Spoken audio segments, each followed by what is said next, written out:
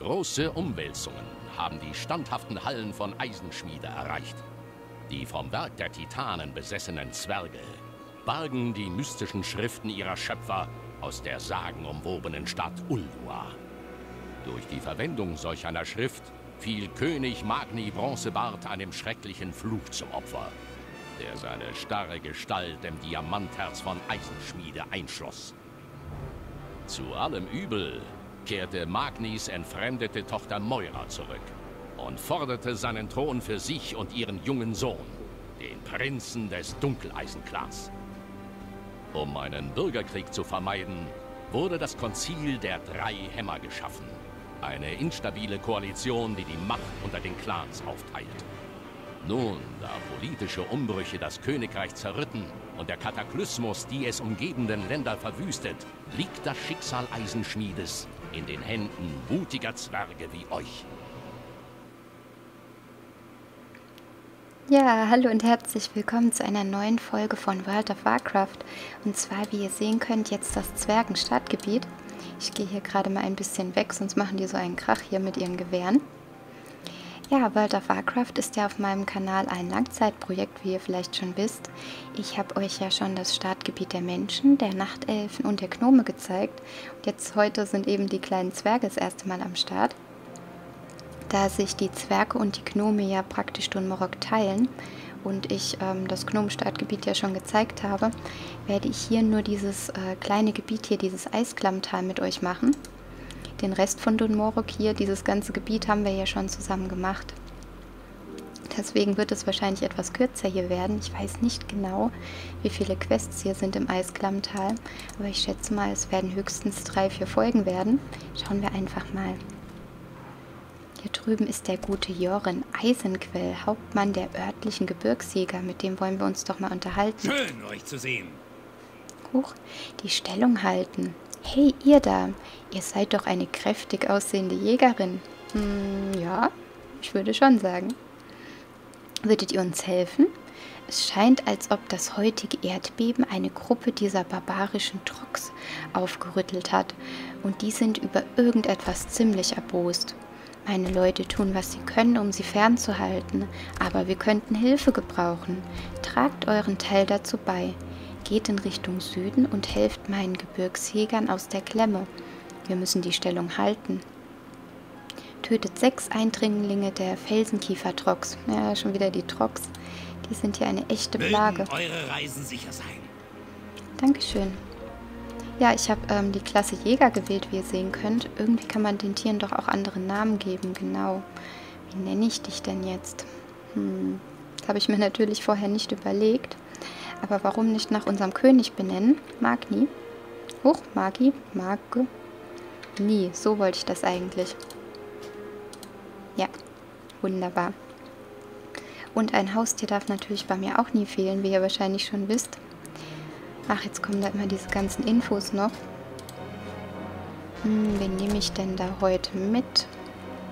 Ich glaube, in der letzten Folge von äh, Gnomstartgebiet hatte ich ähm, Herr Nilsson mit dabei. Dann nehmen wir doch heute mal... Ach nein, der ekelhafte Schlammling. Da wird man so grün, wenn man den draußen hat. Erdnuss. Ich weiß gar nicht, ob ich den kleinen Kerl schon draußen hatte. Erdnuss bekommt ihr ja bei dem Event der Kinderwochen hier in World of Warcraft, also könnt ihr euch aussuchen. Das ist eines der drei optionalen Haustiere. Also es gibt noch mehr, aber von diesen dreien könnt ihr euch, ich glaube, das ist Kolumbus, Erdnuss und... Oh, fragt mich nicht, das ist schon so lange her, seit ich das Event mitgemacht habe. Aber ihr könnt ihn euch auf jeden Fall bei dem Event aussuchen, wenn ihr wollt. Die Kinderwochen sind, glaube ich, immer um Pfingsten herum möchte gerade mal schauen. Ach, das sind die schon hier. In der Klasse Jäger kenne ich mich überhaupt nicht aus. Ich habe die zwar auch getestet, wie ähm, eigentlich alle anderen Klassen in World of Warcraft auch. Aber irgendwie hat die Klasse mich nie wirklich überzeugt, was sehr seltsam ist, da ich normalerweise eigentlich sehr gerne Klassen spiele, die einen Begleiter haben. Aber beim Jäger, irgendwie hat mir da immer was gefehlt. Vielleicht das Magische, ich weiß es nicht. Ich glaube, mein höchster Jäger, den ich jemals getestet habe, war Stufe 25, also braucht man eigentlich gar nicht erwähnen. Ich habe kein Ziel. Aber jetzt so hier für das Zwergenstartgebiet habe ich mir gedacht, warum nicht? Ist mal was anderes. Und für die paar Level geht es auf jeden Fall. Und wer weiß, vielleicht kriege ich auch so viel Freude dran, dass ich den dann doch ähm, etwas länger spielen werde, also dann im eigentlichen Let's Play. Wobei ich mir da eigentlich schon überlegt habe, was ich gerne spielen möchte. Denn nachdem ich euch alle Startgebiete der... Oh, der war jetzt aber schnell hinüber. Ähm, nachdem ich euch alle Startgebiete der Allianz gezeigt habe, möchte ich ja ins eigentliche Let's Play starten, also Level 1 bis 100. Oder dann vielleicht schon 110, wer weiß.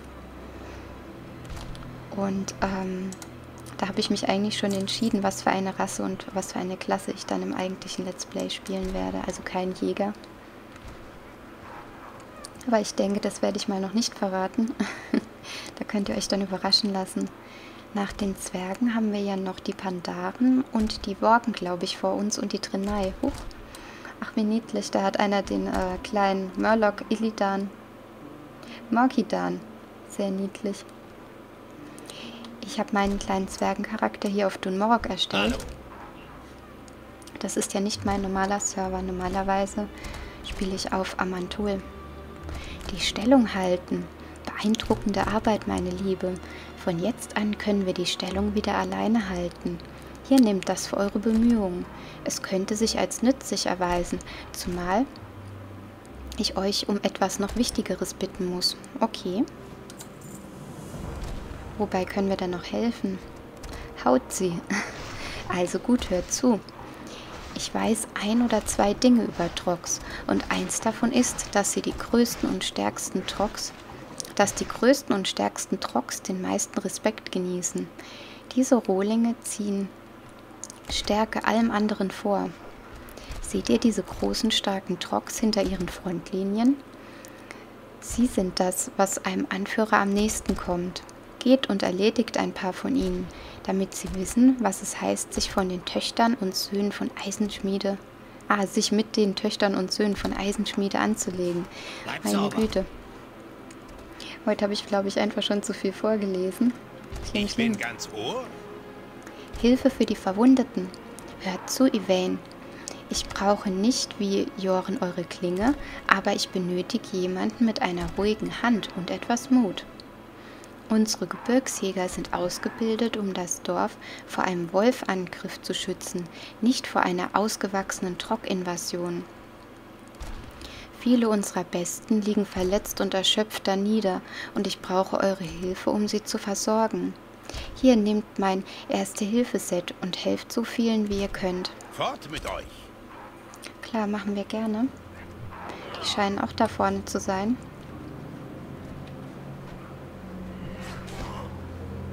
Hier in dem ganzen Bereich. Oh, da starten gerade zwei kleine Zwerge zusammen, wie mir scheint. Die haben wohl auch gerade die Quest gemacht. Da haben wir so ein Erste-Hilfe-Set erhalten. Danke, von hier aus schaffe ich es. Na, das hoffe ich doch. Viel Glück. Da ist einer von diesen Riesentrox. Von der Quest Haut sie.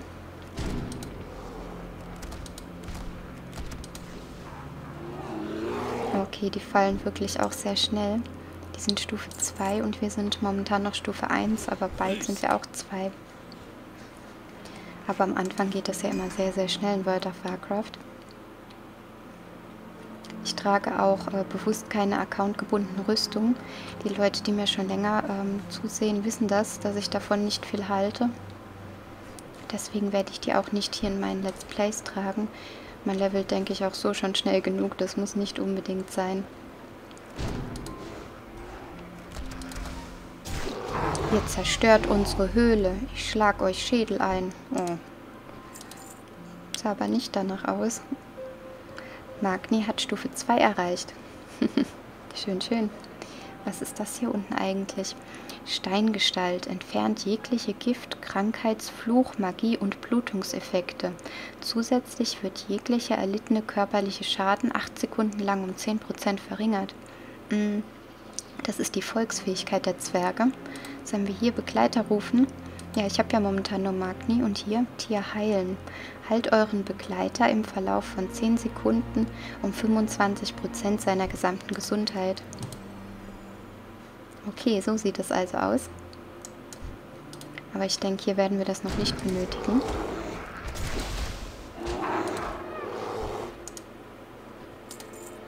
Ich muss später auf jeden Fall noch ohne euch hier meine Leisten etwas anders legen und auch den Autoloot einstellen. Was brauchen wir denn noch? Ah, noch zwei äh, Gebirgsjägern sollen wir helfen. Hm, ah, da drüben ist zum Beispiel jemand. Ach, und da auch und da auch, okay. Da brauchen wir uns keine Sorgen machen, dass wir das nicht fertig bekommen. Oh, hat er eben nach ihm gehauen? Na, warte. Das kann ich ja nicht zulassen. Das lässt mein Zwergenstolz nicht zu. Geht ja Was gar nicht, du Armer. So. Ihr seid ein Lebensritter für Eisenschmiede. Ja, für Eisenschmiede. Oh, auch ein Jäger. Von Rexa. Also dem Server Rexa. Dann haben wir jetzt auch die Quests hier schon erledigt.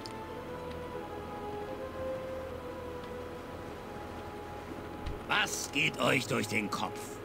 Hm, Sie machen uns dafür verantwortlich, Ihre Höhle zerstört zu haben, sagt ihr? Das waren nicht wir, das war dieses schreckliche Erdbeben heute früh. Sind Sie so beschränkt, dass Sie nicht einmal sehen, dass unser Lager auch beinahe zerstört wurde? Ich kann allerdings keinem Trock vorwerfen, dass er für seine Heimat kämpft. Hm. Bleibt auf dem Boden! keine Folgequest von dem Guten, aber hier drüben können wir ja noch eine abgeben. Hallo? Viele von jenen, die ihr gerettet habt, sind schon ins Lager zurückgekehrt. Ihre Wunden scheinen gut versorgt. Ihr könntet eine Zukunft im Bereich der ersten Hilfe haben, wenn ihr euch dergleichen zusagt. Wenn euch dergleichen zusagt. Mögen eure Reisen sicher sein. Ja, im eigentlichen Let's Play werden wir auf jeden Fall auch alle möglichen Berufe machen. Und Erste Hilfe geht ja Was immer. Was kann ich für euch tun? Ambossa abriegeln. Wir wissen eure Hilfe hier draußen zu schätzen, doch es gibt einen Ort, an dem ihr noch mehr gebraucht werdet. Dank der Angriffe durch die Trox, ganz zu schweigen von dem starken Erdbeben, das wir gerade erlebt haben, müssen wir alle Zivilisten in Ambossa im Nordwesten abriegeln. Mhm. Geht und sprecht mit meiner Frau Jona in Ambossar. Ich bin sicher, sie kann ein kräftiges Mädel wie euch gut gebrauchen. Okay, dann äh, sprechen wir mit Jona. Hier scheint es auch keine Quest mehr zu geben. Da werden wir praktisch schon in den nächsten Bereich geschickt. Finde ich ja niedlich, dass Erdnuss so riesig ist. also kommt einem zumindest so vor, wenn man einen Zwerg spielt könnte ich ja fast auf dem Kleinen reiten. Oh, ist momentan wieder ein Event. Liebe liegt in der Luft tatsächlich. Ja, ich spiele ja momentan aus äh, Zeitgründen nur äh, Final Fantasy XIV privat und wenn ich ähm, wirklich noch ein, ja, ich sag mal ein, zwei Stündchen Zeit habe, noch Elder Scrolls Online, also meine zwei Lieblingsspiele mittlerweile. Ähm, World of Warcraft habe ich leider momentan keine Zeit, privat zu spielen. Deswegen wusste ich gar nicht, dass da schon wieder ein Event ist. Schön, euch zu sehen. Hm. Und was wollt ihr nun wieder? Seht ihr nicht, dass ich beschäftigt bin? Oh, die ist aber nicht gut gelaunt. Geht jemand anders auf die Nerven? Ich habe keine Zeit. Moment, was sagt ihr da? Jochen hat euch geschickt, um zu helfen. Warum habt ihr das nicht gleich gesagt? Hm, das hätten wir schon noch getan. mit euch. Zwei neue Quests. Ja, ich würde sagen, die nehmen wir auf jeden Fall noch an. Das Wichtigste zuerst. Wir brauchen Bier. Typisch Zwerg. Ich kann mir nicht vorstellen, wie wir hier irgendetwas auf die Beine stellen wollen, solange wir kein Bier haben. Unser Biervorrat hier in Ambossar ist bedenklich niedrig. Zum Glück haben wir für solche Fälle ein paar Notfallfässer aufbewahrt. Westlich von Ambossar, entlang der nördlichen Grenze des Tals, werdet ihr Fässer mit Sturmhammer Starkbier und Terramor Hell finden. Gleich östlich von hier findet ihr einen Vorrat von Gnomenbräu. Das ist mein Lieblingsbier. Okay, drei Fässchen sollen wir an uns nehmen. Geätzte Rune. Yvain, diese Rune wurde mir gegeben, damit ich sie an euch weitergebe. Nehmt euch einen Moment Zeit, sie zu lesen, wenn ihr könnt. Ich denke mal, es kommt von dem Jägerlehrer Torgas. Werft doch am besten einen Blick darauf und sucht ihn in Ambossa auf. Bleibt auf dem Boden.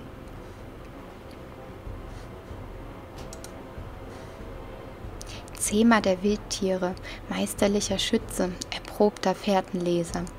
Was wollt ihr sonst noch in diesem Leben erreichen? Vor all dies zusammen muss man äußerst intelligent und sehr geduldig sein. Der Weg des Jägers ist kein einfacher, so viel ist sicher. Ihr benötigt viel Übung, um auch nur so gut zu werden wie unsere Scharfschützen im niedersten Rang. Aber dafür bin ich ja da. Ihr werdet mich in Ambossa über dem Eisklammtal finden. Ich werde euch erwarten. Torkas Grimson, Jägerlehrer. Gut, gut. Hier gibt es noch eine andere Quest. Lust auf ein Glas? Artefakte der Zwerge. Yvain, meine hübsche Blume. Der ist sehr charmant. Interessiert ihr euch für Archäologie? Ja, sehr. Wir haben hier genau vor unserer Nase eine aufregende Gelegenheit. Das Beben des heutigen seismischen Ereignisses hat einige Artefakte aus der Erde unter dem Lager herausgeschüttet. Wenn ihr den nördlichen Rand des Tals inspiziert, solltet ihr alle möglichen Schätze finden bringt einige zurück zu mir und vielleicht können wir sie zusammen untersuchen. Alles klar, ab mit euch. Fünf vergessene Zwergenartefakte sammeln. Alles klar. Und das hier ist der Jägerlehrer. Ich überlege gerade, ob wir noch mit dem diese Folge sprechen. Ja, ich denke, das machen wir noch. Ach, der, der Lo, der Mönchslehrer. Der fällt auf hier unter den Zwergen, oder? Aber ich bin ja jemand, der die Pandaren sehr, sehr gerne mag. Auch das Add-on ist sogar mein liebstes Add-on, muss ich sagen. Ich weiß, viele Spieler, die schon länger spielen, und ich spiele ja auch schon seit Burning Crusade, mochten dieses Add-on nicht, aber ich mag es. Das ist mein Lieblings-Add-on. Was kann ich für euch tun? Geätzte Rune. Ihr habt es also hierher geschafft. Das ist eine gute Nachricht musstet mich wohl auch nicht verfolgen, um den Ort hier zu finden. Haha, ein Scherzkeks. Eines solltet ihr niemals vergessen, ihr müsst die Welt respektieren, in der ihr lebt, die Wildtiere, die den Kampf an eurer Seite wählen, den Glanz eurer Waffe, das Gewicht eurer Munition, der Biss eines schneidenden Windes. All diese Dinge müsst ihr wie eure Westentasche kennen. Seid auf der Hut. Ah, das Leben eines Jägers. Das Leben eines Jägers ist tief in Traditionen verwurzelt, wisst ihr?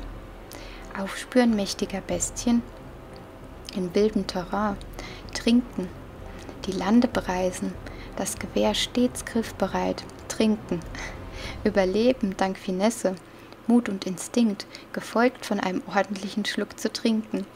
Also ich muss sagen, die finde ich hier richtig lustig, die Zwerge. Ähm, aber bevor wir zu den guten Sachen kommen, müsst ihr die Grundlagen erlernen. Geht, macht eure eigenen Erfahrungen und ihr werdet lernen, mehr Dinge hinzukriegen. Und darauf trinken wir dann ein. Alles klar. Erreicht Stufe 3, um zuverlässiger Schuss zu erlernen und verwendet ihn dann fünfmal an den Trainingsattrappen vor dem Eingang von Ambossar. Okay. Man sieht sich. Stufe 3 bin ich noch nicht. Das können wir dann erst nächste Folge machen. Soweit haben wir hier auch alles eingesammelt, wenn ich richtig sehe. Hier sind die Trainingsattrappen dann. Okay, dann würde ich aber sagen, ich werde die erste Folge mal an dieser Stelle beenden. Ich bedanke mich bei euch vielmals fürs Zusehen und ich hoffe, ihr seid dann auch in der nächsten Folge wieder mit dabei. Macht's gut!